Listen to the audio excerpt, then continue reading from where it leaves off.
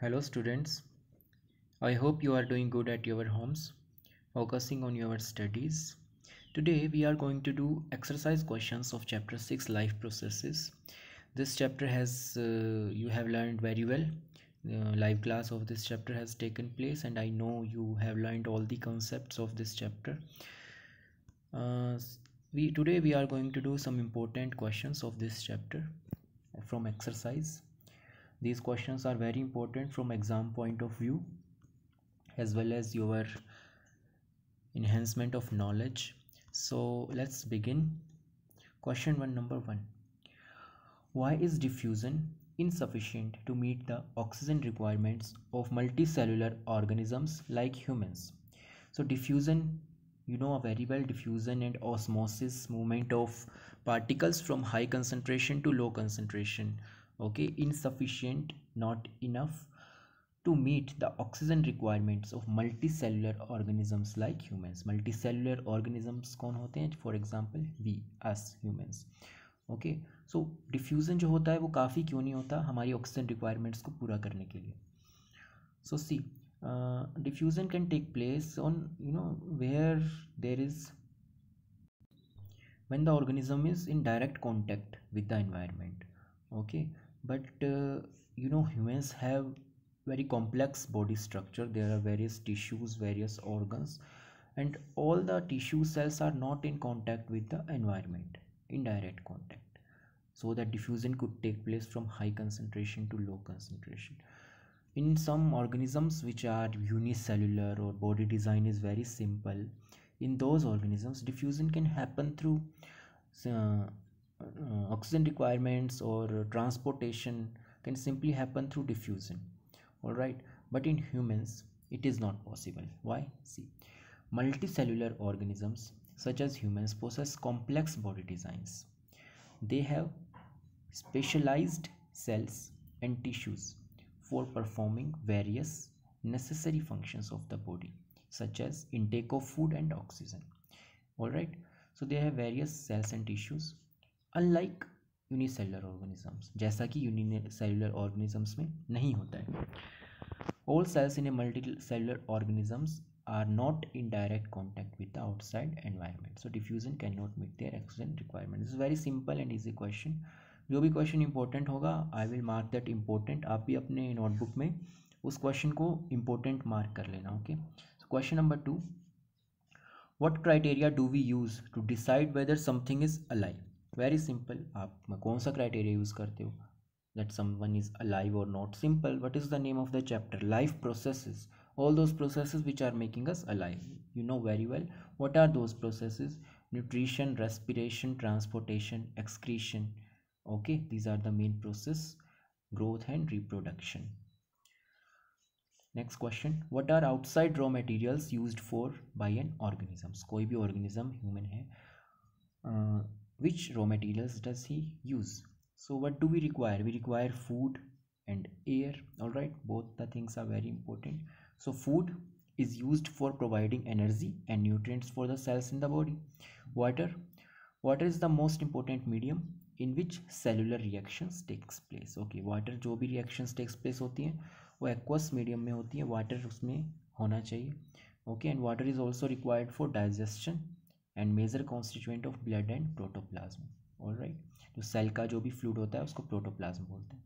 Oxygen why do we require oxygen oxygen required for respiration you know for break down of food oxygen is required use for aerobic respiration to release energy stored in food so what is this respiration definition respiration क्या होता है? Cellular respiration break down of glucose और food in presence of oxygen to release energy okay.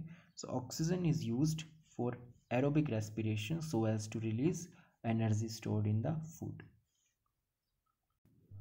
All right so food water and oxygen are three basic raw materials required for any organism. What processes would you consider essential for maintaining life? Which are the most important which are most useful most essential necessary? Same question. Nutrition respiration transportation excretion okay control and coordination all right next question what are the differences between autotrophic nutrition and heterotrophic nutrition important question this is important question autotrophic and heterotrophic so what do you mean by auto autotrophic automatic जो चीज़ अपने आप होती है heterotrophic जो दूसरे से होती है so autotrophic nutrition takes place in plants so let's see autotrophic nutrition food is synthesized from simple inorganic raw materials. Raw materials means very basic materials which cannot be broken further. Okay? So raw materials such as co2 and water. So this is photosynthesis. What is autotrophic nutrition? It is basically photosynthesis because green plants and some bacteria uh, use autotrophic mode of nutrition because they are photosynthetic so in photosynthesis we use co2 and water okay so food is synthesized from co2 water heterotrophic like humans we cannot synthesize our food ourselves so we take food from plants or animals animals the food is broken down with the help of enzymes. Which enzymes? You have studied in digestive system. There are various enzymes which increase the rate of digestion like lipase, amylase Alright, so that is enzyme. What are the more differences? What are what, what are the more features in autotrophic nutrition? Chlorophyll, okay. Autotrophic nutrition requires green pigment, chlorophyll. No pigment is required in this type of nutrition. हमें कोई pigment की requirement नहीं है food is prepared in presence of sunlight and food can in heterotrophic nutrition food can be obtained at all times ऐसा नहीं है जब sunlight होगी तो ही हम अपना फूड बना सकते हैं नहीं ऐसा सिर्फ प्लांट्स के केस में होता है we can obtain food at all times all right other examples हैं इसमें ऑल ग्रीन प्लांट्स हैं some bacteria all right this type of nutrition and animals and fungi have this type of nutrition the very simple question so basically this is photosynthesis and this is our nutrition in humans all right where do plants get each of the raw materials required for photosynthesis what are the raw materials first of all you were know very well what are the raw materials for photosynthesis photosynthesis में कौन कौन सी चीज़ें definitely चाहिए carbon dioxide okay water chlorophyll है ना so CO2 how does CO2 reaches plants CO2 enters from the atmosphere through stomata You know about stomata stomata are the tiny pores present on the surface of leaves so co2 enters from stomata water you know very well पानी कहाँ देते हैं हम जड़ों में देते हैं roots में देते हैं water is absorbed from the soil by plant roots all right sunlight very important sunlight an important component to manufacture food is absorbed by chlorophyll and other green plants parts of the plant so sunlight का क्या function होता है sunlight solar energy होती है तो solar energy is converted into chemical energy by chlorophyll okay so sunlight is absorbed by chlorophyll and chlorophyll is present in all green plants so okay so these are the okay next second very important question this is the first important question yet what is the role of acid in our stomach remember which was the acid in our stomach कौन सा acid था हमारी body में HCl right hydrochloric acid. H C L जो acid था, वो कौन से जूस में प्रेजेंट था? गैस्ट्रिक जूस में you know very well gastric juice में ही प्रेजेंट था। Okay so what is the role of that acid first role C acid का फ़र्स्ट रोल जो था that was the killing the bacteria C hydrochloric acid present in our stomach dissolves food and creates an acidic medium. Okay, that's that's simple, but in acidic medium, enzyme pepsinogen is converted to pepsin, which is protein digesting enzyme. आप याद कीजिए stomach में किस चीज़ का digestion होता है? Stomach में प्रोटीन का डाइजेशन होता है, और प्रोटीन को डाइजेशन के लिए कौन सा एंजाइम चाहिए? Pepsin okay so first function of hydrochloric acid present in our stomach is functioning of the enzyme pepsin जो पेप्सिन एंजाइम काम करता है, वो किसकी हेल्प से करता है?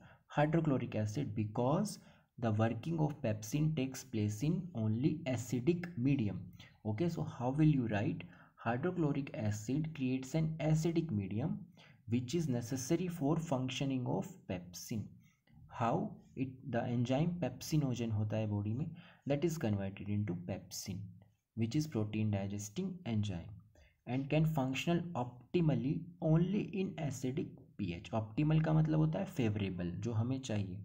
सो फेवरेबल कंडीशन कब होगी? जब एसिडिक पीएच होगा। पीएच होता है जिससे हम एसिड बेस मेज़र करते हैं। सो एसिडिक एनवायरनमेंट में, ठीक है? सेकंड फ़ंक्शन क्या है एसिड का?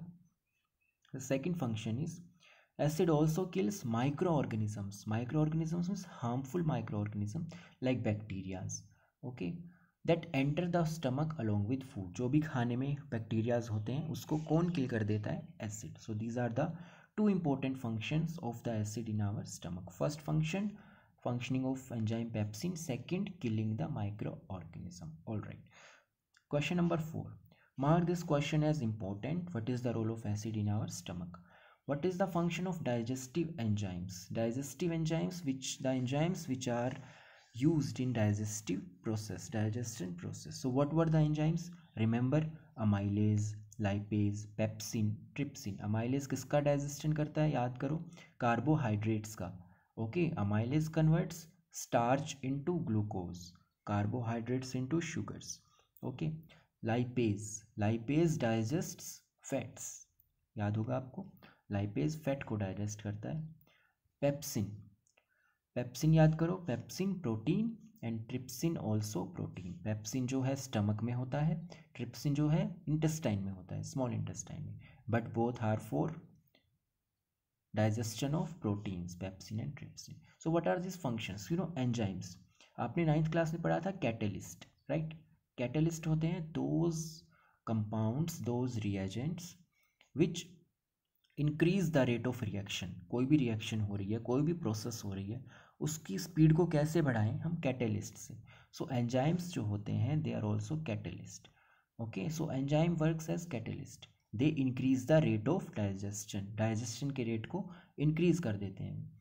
So read this answer digestive enzymes such as amylase lipase pepsin trypsin help in breaking down of complex food in simpler molecules okay these enzymes act as bio catalysts These are biocatalysts speeding up the rate of breakdown of complex food. Breakdown of complex food क्या है digestion ही तो है okay so the this is the main line these enzymes act as biocatalysts speeding up the rate of breakdown of complex food okay in the absence of these enzymes a single meal would take a very long time to digest enzymes नहीं होंगे तो खाना नहीं digest हो पाएगा very another important question small intestine design to absorb digested food see digestion process आपने पूरा पढ़ा था. Okay mouth oesophagus stomach liver pancreas small intestine large intestine you know the digestion ends in small intestine digestion small intestine में खत्म हो जाता है. From there the digested food enters blood okay and from blood it reaches all the cells आपको पता है blood ही होता है जो पूरी बॉडी में फ़ूड को और ऑक्सीजन को ट्रांसपोर्ट करता है। बट ब्लड में पैसे ब्लड में जो है, पहले कैसे पहुंचेगा? जो भी फ़ूड है बाई स्मॉल इंटेस्टाइन में जो होती हैं villi okay so the small intestine has millions of tiny finger like projections called villi okay you know about willies, okay? These are the tiny finger like projections. So what is happening uh, how does transport takes place through blood okay and how does food reaches blood through blood capillaries you know blood capillaries you have studied about that किसी भी organs के अंदर क्या होती हैं capillaries from those capillaries food or air enters the uh, blood okay so inside willies इसको पढ़िए These will increase the surface area for more of efficient food absorption. Villi are covered with single cell thick layer of epithelium. जो villis होती हैं, वो सिर्फ़ एक बहुत पतली लेयर से कवर्ड होती हैं to allow easy absorption of food from small intestine to blood जो स्मॉल इंटेस्टाइन होता है, ठीक है, और ब्लड जो होता है, उसके बीच में एक सिंगल सेल लेयर होती है so that absorption is easy okay in these villi many blood vessels and lymph vessel are present okay that absorb the digested food and carry to the blood stream okay so आपको समझ आया कि कैसे जो है small intestine में villis होती हैं okay so digested food enters villi villi contain very very thin very of single cell thick layer of epithelium बहुत पतली जो है, एक सेल की लेयर होती है to allow easy absorption of food from blood okay so from villi through a single layer of epithelium digested food reaches blood vessels and from that it reaches all the cells from the blood stream the absorbed food is deliver to each and every cell of the body all right next see this diagram you can make if you want but it's not necessary what is this see here this is a single cell thick layer एक single cell की जो है layer है from here the digested food इसको single layer को पार करके और ब्लड कैपिलरीज में पहुँच जाएगा okay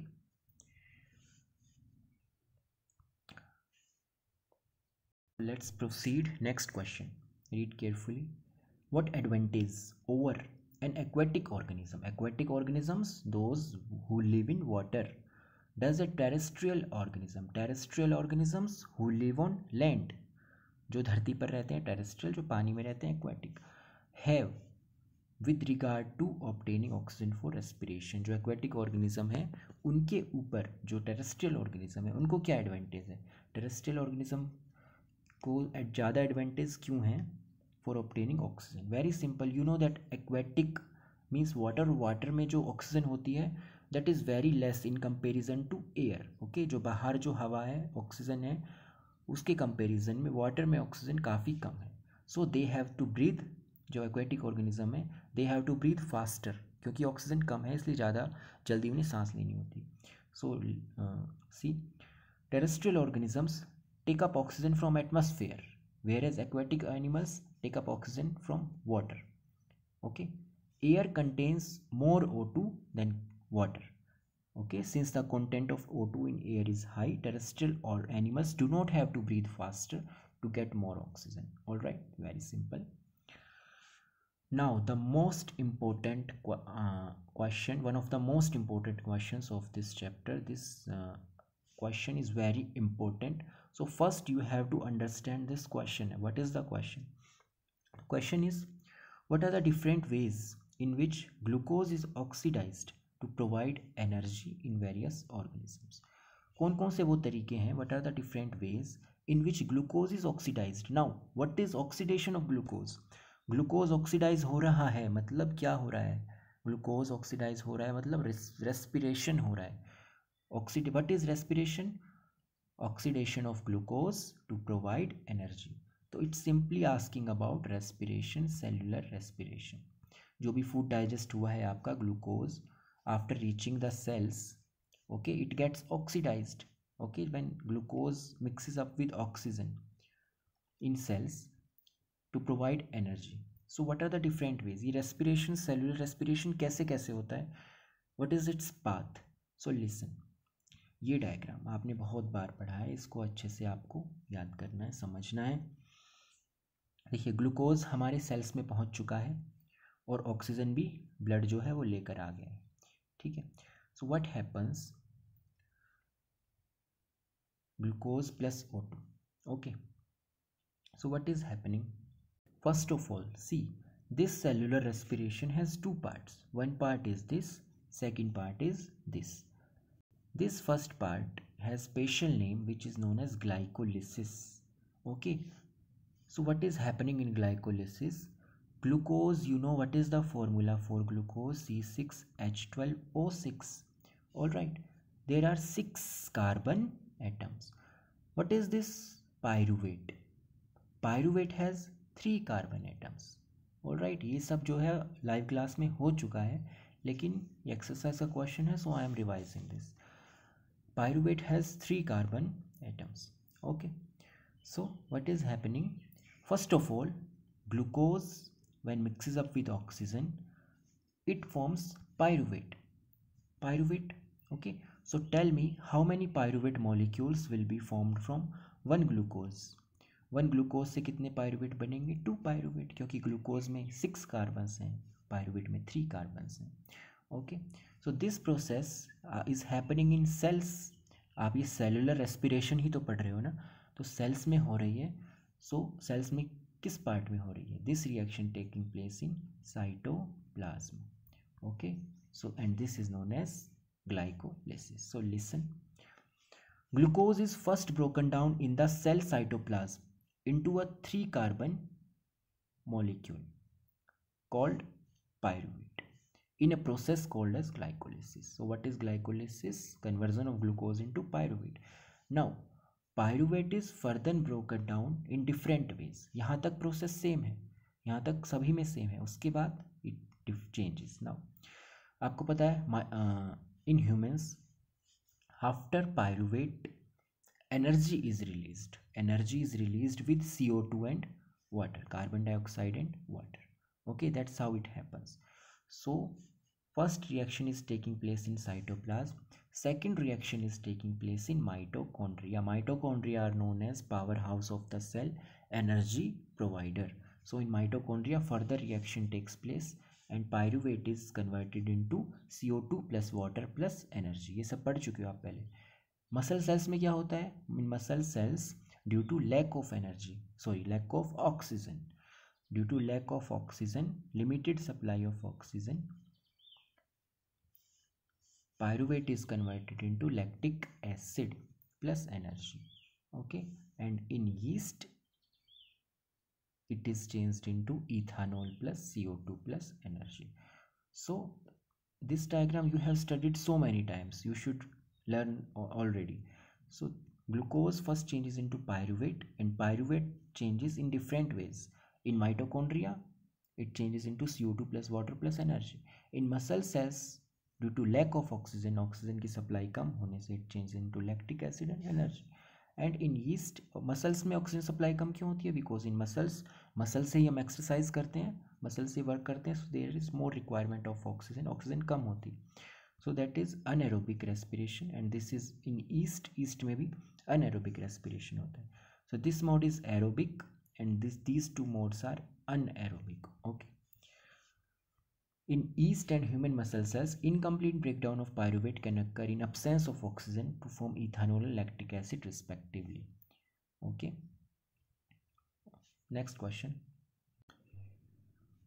This is just a revision of what you have learned before. So I will proceed faster. How is oxygen and carbon dioxide transported in human beings? Transport system. Transport system जैसे ही सुनो आपको ध्यान आना चाहिए blood. Okay. सो blood जो है transport करता है ऑक्सीजन को कैसे? How does blood transports oxygen मैंने आपको बताया था क्लास में। आपने पढ़ा भी होगा एन बुक से कि कैसे जो है ब्लड ऑक्सीजन को ट्रांसपोर्ट करता है थ्रू हीमोग्लोबिन हीमोग्लोबिन से ट्रांसपोर्ट करता है बिकॉज़ हीमोग्लोबिन ऑक्सीजन को अटैच कर लेता है to form oxyhaemoglobin see the red pigment haemoglobin present in erythrocytes देखिए एरिथ्रोसाइट्स कुछ नहीं है, जो ब्लड के कंपोनेंट्स में आपने पढ़ा था ना? R B Cs R B Cs जो पढ़े थे ना? रेड ब्लड सेल्स को ही हम एरिथ्रोसाइट्स कहते हैं। तो एरिथ्रोसाइट्स की जगह आप आर भी लिख सकते हैं okay so haemoglobin present in R transports oxygen molecule in all body cells how haemoglobin pigment gets attach to O two molecule जो ऑक्सीजन है, वो किससे अटैच हो जाती है हीमोग्लोबिन से। And then blood transports it in all over the body okay after giving away O two to the body cells blood takes away C O two आपने पढ़ा था, पूरे ट्रांसपोर्ट सिस्टम में ऑक्सीजन जो है सेल्स में चली जाती है, फिर सेलुलर रेस्पिरेशन से सी ओ टू वापस आती है। C O two is the end product of cellular respiration respiration की रिएक्शन याद करो क्या था? ब्रेक डाउन ऑफ़ ग्लूकोज करना है, ये है glucose plus O two we get C O two plus H two O plus energy okay so oxygen changes into now C O two okay so haemoglobin pigment has left affinity carbon dioxide कैसे transport होती है? जो वापस आ रही है, वो haemoglobin transport नहीं करता है। वो हीमोग्लोबिन सी को अटैच नहीं करता है। हीमोग्लोबिन सिर्फ़ ऑक्सीजन को अटैच करता है। सी कैसे ट्रांसपोर्ट होगी? सी सिंपली जो है डिजोल्व फॉर्म में वाटर के साथ ट्रांसपोर्ट होगी। ओके ये जो डायग्राम है, ये वाला डायग्राम आपको नहीं बनाना है। आपको वो डायग्राम बनाना है जो एन में दिया हुआ है। याद कीजिए ब्लड कैपिलरीज थी, ऊपर दो थी ठीक है? आप ऐसे कुछ बना रहे थे, ये वाला डायग्राम आपको अच्छे से याद होगा। वो वाला डायग्राम आपको बनाना है, जो कि हार्ट के डायग्राम के नीचे दिया हुआ है, ठीक है? Okay how are the lungs designed in human beings to maximise the area of exchange of gases very simple जैसे कि स्मॉल इंटेस्टाइन में पढ़ा था आपने विली का small very large surface area होता है so that exchange of food digested food to the blood is easy वैसे ही लंग्स में होती हैं क्या? एल्वियोली एल्वियोली एल्वियोलाई क्या करती हैं? Alveoli has blood capillaries and alveoli has large surface area read this exchange of gases takes place between the blood of the capillaries that surround the alveoli okay जो blood capillaries होती हैं उसमें and the gas is present in the alveoli gas जो होती है oxygen वो blood capillaries में जाती है. कैसे? एल्वियोली से. Alveoli are the site of exchange of gases Each lung contains three hundred million alveoli आपको बताया था there are millions of alveolis in our lungs okay so These alveoli increase the surface area for a gaseous exchange, making the process of respiration more easy, more efficient. Okay, very simple. Next question. Components of transport system. Very straight answer. You know what are the components of transport vessel and what are the functions of these components. Heart. Heart हो गया blood हो गया and blood vessels हो गए Heart का पता है आपको Heart is a pump. Heart pumps oxygenated blood throughout the body and receives deoxygenated blood from various parts okay okay, ये आपने हार्ट की वर्किंग पढ़ी है पूरी आप इतना लिख सकते हो इसमें and sends this impure blood to lungs for oxygenation blood blood is the main tool for transportation. Blood helps in transport oxygen, nutrients co2 nitrogenous waste and hormones. Hormones आप नेक्स्ट चैप्टर में पढ़ोगे। Okay blood के components क्या क्या होते हैं? याद कीजिए। R B Cs W B Cs okay so R B Cs का फ़ंक्शन तो क्या हो गया? Oxygen transport W B C का क्या हो गया? Immune system okay and platelets का आपको पता ही है ब्लड क्लोटिंग ब्लड वेसल्स जो भी होते हैं, जिसमें ब्लड फ्लो करता है आर्टरीज वीन्स कैपिलरीज आर्टरी का ध्यान कीजिए। Artery carry blood away from the heart other parts of the body veins carry blood to the heart from various parts of the body okay all arteries except pulmonary artery मतलब pulmonary artery को छोड़कर सभी arteries में oxygenated blood होता है, आपको पता है। ठीक है? और वीन्स में डीऑक्सीजनेटेड ब्लड होता है। Capillaries are the site of exchange of materials आपको पता है, जो भी एक्सचेंज ऑफ़ मटेरियल हुआ है, चाहे वो गैस हो या फ़ूड हो, वो कैसे हुआ है? थ्रू कैपिलरीज जैसे कि विली में जो कैपिलरीज होती हैं एल्वियोले में जो कैपिलरीज होती हैं okay so capillaries are the site of exchange of materials between blood and tissues exchange occurs across the single cell thick wall of capillary vessels next question very easy ये पहले भी explain कर चुका हूँ मैं। Why is it necessary to separate oxygenated and deoxygenated blood in mammals and birds mammals और birds में oxygen और डीऑक्सीजन को क्यों अलग अलग करना पड़ता है? Very simple because in mammals and birds are warm blooded animals warm blooded होते हैं so they require more energy और मोर एनर्जी चाहिए तो हमें ब्लड में जो ऑक्सीजन का ट्रांसपोर्ट हो रहा है, हमें ऑक्सीजन भी ज़्यादा चाहिए। बिकॉज़ एनर्जी हमें कहाँ से मिल रही है? फ़ूड से तो मिल रही है, लेकिन फ़ूड से कैसे मिल रही है? जब ऑक्सीजन फ़ूड के साथ अटैच होती है। सो so, हमें ज़्यादा एनर्जी चाहिए वॉर ब्लडेड एनिमल्स को सो so, ऑक्सीजन भी ज़्यादा चाहिए।